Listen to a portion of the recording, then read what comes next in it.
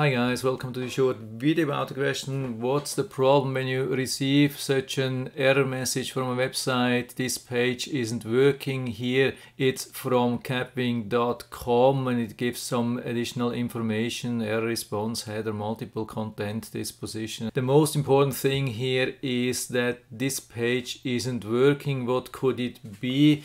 Of course this doesn't have always the same uh, root cause, but I would say in about 90% of the cases it's caused by a VPN. Sometimes you use VPN to turn it on, sometimes even with additional options like some virus scanning or whatsoever, and then you forget to uh, disconnect or turn it off and in a sudden you get some strange error messages from website and this is usually the case. And here as well this happened because I forgot to turn off NordVPN and I had an option uh, for virus scanning or so and so this seems not to work with this site and of course it doesn't work also with a lot of other sites. So this is my recommendation. Of course there can be a lot of other issues, but really in a lot of cases it's related to IP or firewall or some similar things.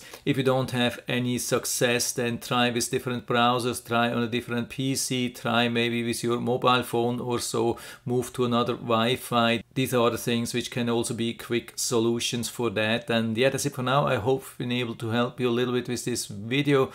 If you have any questions or comments or other solutions, then just let us know down in the feedback area. I'm always happy to talk about these things. And if you liked the video, give me a thumbs up, subscribe my channel. Thanks for watching. See you next time.